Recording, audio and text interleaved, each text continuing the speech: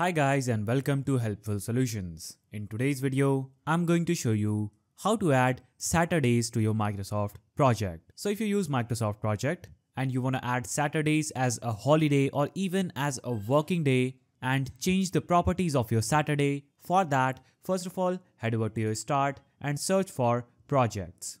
And then open the projects application and navigate to the project that you've been working on. So for example, this is the project that I'm working on right now and I want the Saturdays of my project to be non-working days and set a Saturday property. For that, I will have to simply head over to my project that I've been working on and click on the project option just right here.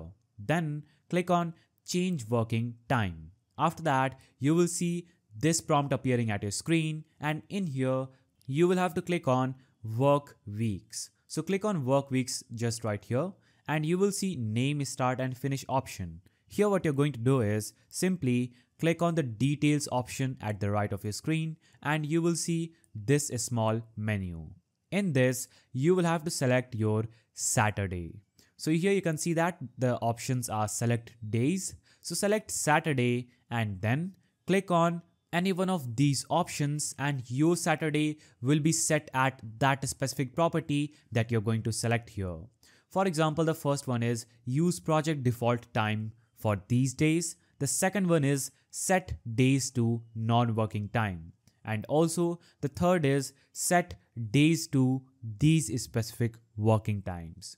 So if you select the first one, the project for that day will be set at default time for that specific day. If you select the second one, it will set that day to non-working time. And in our case, it will be Saturday. If you select the third one, you will have the option to enter a time just right here in this field from and to.